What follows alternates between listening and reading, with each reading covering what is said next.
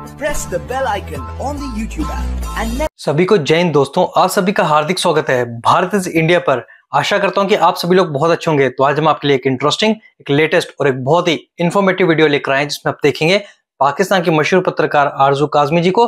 जिनके special guest होंगे geo political expert Sumit Jain साहब, जो कि है तो भारतीय मूल के, पर वो चाइना में रहते हैं और आप देखेंगे भारत के मशहूर पत्रकार रोहित शर्मा जी को तो ये वीडियो काफ़ी इंटरेस्टिंग होगी। आपको बहुत कुछ जानने को मिलेगा तो इसे अंत तक देखें और चैनल पे नए हैं तो चैनल को सब्सक्राइब कर दें ताकि हम आपके लिए इंपॉर्टेंट इंटरेस्टिंग और लेटेस्ट वीडियोस लाते रहें। जय हिंद, जय भारत। साथ हैं जी सुमित जैन साहब। आज येलो येलो डटी फेलो हम लोग बन के आए हैं। हमारा एक साथी गायब है, हम उसे सुबह से फ़ोन कर रहे हो। मर तो नहीं गया। मैं रोहित की बात कर रही हूँ। उसने कहा था कि वो ज्वाइन करेगा पंद्रह मिनट पहले तक था। अब पता नहीं किधर गया है। लेकिन सर, सबसे पहले थैंक यू सो मच कि आपने ज्वाइन किया। Thank you so much Arzoo ji. मैं भी बड़ी चिंता में था। सुबह से मैं न्यूज़ सुन रहा हूँ कि कोई न्यूज़ न्यूज़ में तो नहीं कवर आ गया कि उसके ऊपर। कि आई सही उठा के ले गई या ये रॉ उठा के ले गया। कुछ भी न्यूज़ नहीं है, बिल्कुल सराटा है। नोएडा से कोई न्यूज़ नहीं आ रही। ऐसा लगता है कि कोई बहुत बड़ा ऑपरेशन में वो लगा हुआ है। वैसे भी रॉ का आदमी तो आपने डिक्लेयर किया ही हुआ उसको। बिल्कुल ऐसा ही मुझे भी लगता है क्योंकि अभी 10-15 मिनट पहले तक मेरी बात हुई थी तब तक तो ठीक था। अब अगर पंखे से लटक गया हो तो मैं कुछ कह नहीं सकती क्योंकि उससे कुछ कल, भी हो सकता है। कल मुझे उसने फ़ोन भी किया था कि मुझे नूडल्स चाहिए। मैं किसके लिए कहता पंखे से लटकना है।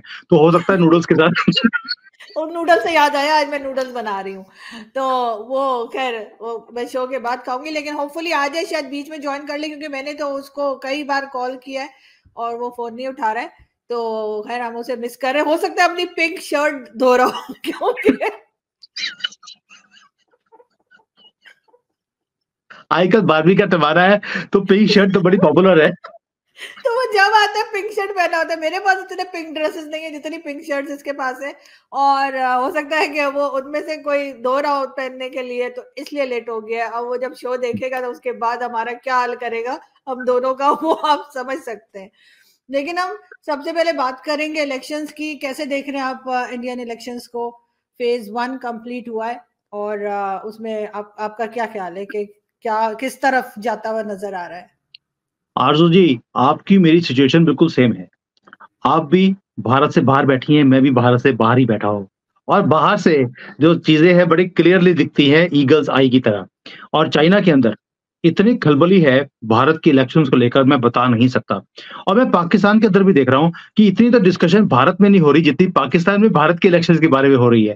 भाई, आपके वहाँ पर पाकिस्तान की इलेक्शन के बारे में कोई भी बातचीत नहीं हो रही थी, क्योंकि आपको पहले ही पता था कि रिज़ल्ट क्या आने वाला है। लेकिन चाइना में भी खलबली है कि क्या हो रहा है।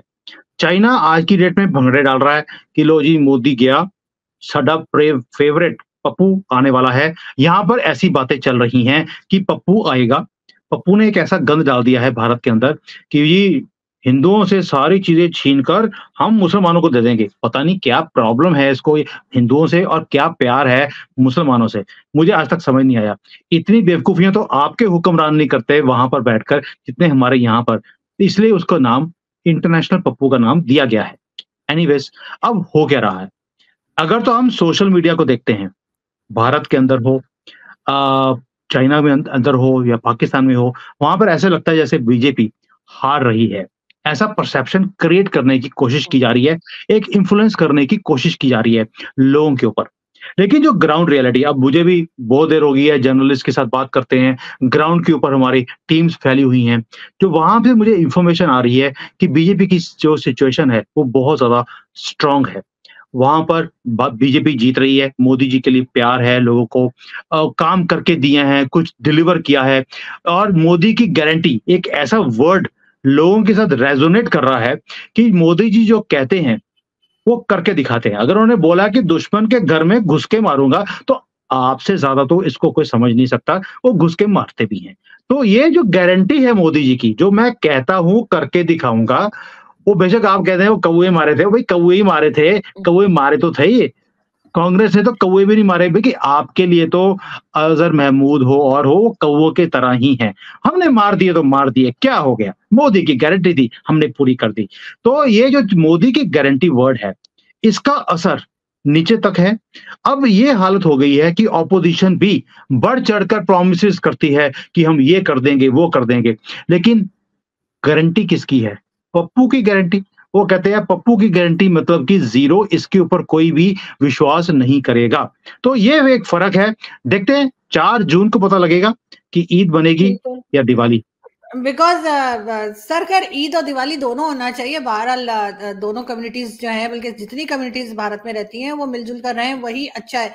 लेकिन uh, बात यह कि सिर्फ़ uh, हम ये बात नहीं कर रहे कि कहाँ पर घुस के मारेंगे और कहाँ पर नहीं है चाहे चाइना हो या पाकिस्तान। लेकिन जो भी गवर्नमेंट आती है चाहे वो पाकिस्तान की हो चाहे जैसे मर्ज़ी आई हो या किसी भी किसी भी दूसरे देश की पब्लिक ये चाहती है कि उसको जो है वो रोज़गार मिले जॉब्स मिले घर हो एजुकेशन हो हेल्थ सेक्टर में हो और जॉब्स वगैरह इस चीज़ चीज़ में आपके ख्याल से आ, किस तरह से बीजेपी जो है वो आगे बढ़ेगी? क्योंकि बहुत बार ये भी कहा गया कि काफ़ी लोग जो हैं वो अभी तक जॉब के इंतज़ार में है। खैर इतनी बड़ी पॉपुलेशन को देना मुश्किल होता है मैं एग्री करती हूँ आसान काम नहीं है। लेकिन फिर भी को, आपको लगता है कोई नई चीज़ लेकर इस बार बीजेपी आएगी? देखिए अर्जुन जी पहली बात यह है कि हमारी जो पॉपुलेशन है वो बहुत तेज़ी से बढ़ रही है। अब इतनी बड़ी पॉपुलेशन को, और सबसे यंग पॉपुलेशन है, ये भी आपको मालूम है दुनिया में। अब इतनी पॉपुलेशन जो बढ़ती जा रही है गवर्नमेंट का काम बिज़नेस करने का नहीं है। ये मोदी जी बार बार बोलते हैं governments business is not to be in business हमारा काम है लेजिस्लेशन को क्रिएट करना अपॉर्चुनिटीज़ को क्रिएट करना। क्या गवर्नमेंट वो अपॉर्चुनिटीज़ क्रिएट कर रही है? आंसर इज़ यस दुनिया भर की जो कंपनीज़ हैं भारत में आ रही हैं आपके तो वहाँ पे बड़े शोज़ आपने भी किए हैं कभी आईफोन सुन लेते हैं। मुझे तो कई बार आपसे पता लगता है कि भारत में कौन कौन सी कंपनीज़ अभी प्रोजेक्ट लगाने वाली हैं। हमें भी इतना पता नहीं होता जितनी नज़र आपकी होती है। और कितनी जॉब्स उसमें क्रिएट होने वाली हैं वो भी मुझे पाकिस्तान के चैनल से पता लगता है। भारत के जो चैनल वाले हैं इतने निकम्मे हैं कोई बात ही नहीं करता कि जैसे कि भारत में कोई तरक्की ना हो रही हो। जैसे अभी आपने बोला कि एप्पल है आप ही का शो था एक जिसमें आपने बोला कि पाँच लाख तो जॉब्स क्रिएट होने वाली हैं भारत में। सिर्फ़ एप्पल एप्पल ने बोला है। ऐसे ही सैमसंग ने पूरा अपना ऑपरेशन चाइना से बंद करके भारत में लेकर आ गए हैं। अभी जितनी इलेक्ट्रॉनिक कंपनीज़ हैं सबने मैन्युफैक्चरिंग भारत में शुरू कर दी है। ना कि शुरू करेंगे शुरू कर दी है। टेस्ला वाला ऑलरेडी यहाँ पर धक्के खा रहा है। आने की बात करता है कि मुझे यहाँ पर फैक्ट्री लगानी है भारत में। रीजन क्या है? चाइना में उसने फैक्ट्री फैक्ट्री लगाई कि मैं वहाँ से बैठकर मैं चाइना को भी सप्लाई करूँगा, भारत में भी सप्लाई करूँगा। मोदी जी ने एक भी गाड़ी उसकी आने नहीं दी भारत के अंदर। अब उसे भारत में फैक्ट्री लगानी पड़ेगी। फैक्ट्री लगाएगा, तरक्की आएगी। आप भी समझते हैं कि छोटी फैक्ट्री नहीं लगेगी टेस्ला की। और उसकी मजबूरी भी है, क्योंकि चाइना ने टेस्ला की वाट लगा दी है। यहाँ पर टेस्ला के बराबर की पूरी टेक्नोलॉजी कॉपी करके बराबर उसकी कंपनी गाड़ियाँ निकालनी शुरू कर दी चाइना ने आधे प्राइस पर। टेस्ला की गाड़ियाँ बिकी नहीं रही हैं। तो ये अपॉर्चुनिटीज़ हैं जो भारत में क्रिएट हो रही हैं because of situation because of policies ये इसका फ़र्क पड़ रहा है और अगले टर्म में वाकई में फ़र्क पड़ेगा। रोहित जी आ, बहुत अच्छा लगा। कि आप आ गए हैं। मैं तो ढूंढ रहा था कि शायद आपके गले पे कोई नूडल नूडल बंधे होंगे। आप नूडल से लटकने की कोशिश कर रहे होंगे लेकिन वो चाइनीज़ नूडल थे बच गए आप तो अच्छा हो गया। ऐसा ही है क्योंकि ना फ़ोन उठा रहे थे ना जवाब दे रहे थे। मुझे लगा पता नहीं कहाँ चले गए। सीमा इधर से मिलने ना चले गए जो इनके घर के पास रहती है। हो सकता है। वहाँ गए नहीं ये अज्जू ये अज्जू अज्जू को पूछने गए थे कि तू पाकिस्तान जाके आई थी कैसी रही? हाँ।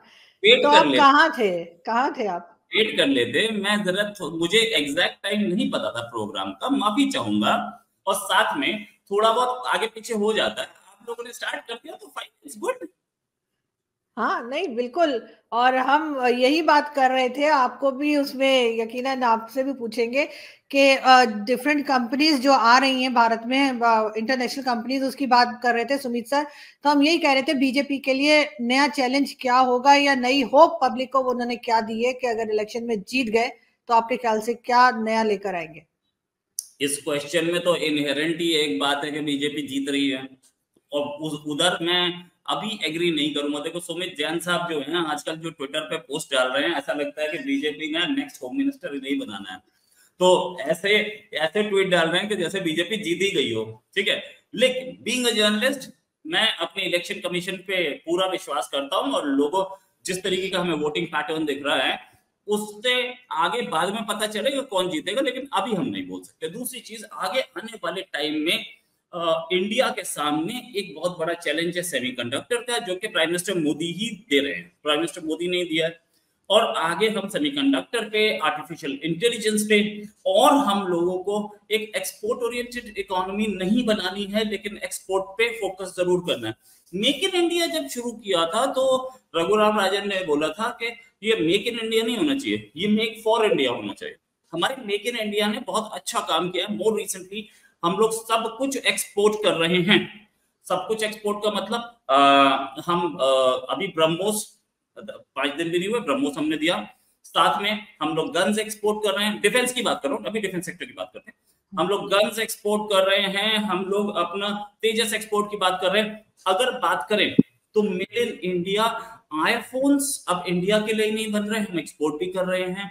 हम और क्या क्या एक्सपोर्ट कर रहे हैं? हम सॉफ्टवेयर हम्म। सबसे बड़ा एक्सपोर्ट है इंडिया का। साथ में हमारा एक्सपोर्ट है व्हाट सिलिकॉन चिप्स हमारा एक्सपोर्ट है मैन्युफैक्चर्ड गुड्स हमारा एक्सपोर्ट है लैपटॉप्स हमारा एक्सपोर्ट है मोबाइल फोन्स नहीं बिल्कुल सही कह रहे हैं लेकिन सुमित सर ये सब कुछ जो रोहित ने बताया कि ये सब कुछ कर रहे हैं इसके बावजूद रोहित कॉन्फिडेंट नहीं है। बीजेपी को लेकर। लेकिन खैर, सही है इलेक्शन का रिज़ल्ट आया। दोस्तों, आशा करता हूँ कि वीडियो को आपने अंत तक देखा होगा और इन तीनों का डिस्कशन आपको काफ़ी पसंद आया होगा और इसमें आपको बहुत कुछ जानने को मिला होगा। जैसे कि आपने देखा, चाहे आरज़ू कासबी जी हो, सुमित जैन साहब हो और रोहित शर्मा जी हो, तीनों ने बात की भारत में हो रहे चुनावों के बारे में और खासकर मोदी जी की गारंटी के बारे में। तो इसके बारे में आपके क्या विचार हैं? आप अपने विचार हमें कमेंट सेक्शन में लिखकर ज़रूर बताएँ और एक बार फिर चैनल पे नहीं है तो चैनल को सब्सक्राइब कर दें ताकि हम आपके लिए लेटेस्ट इंटरेस्टिंग और इन्फॉर्मेटिव वीडियोस लाते रहें। तो चलिए फिर मिलेंगे ऐसी किसी ज़बरदस्त और मज़ेदार वीडियो में। तब तक अपना ध्यान रखिए। जय हिंद, जय भारत।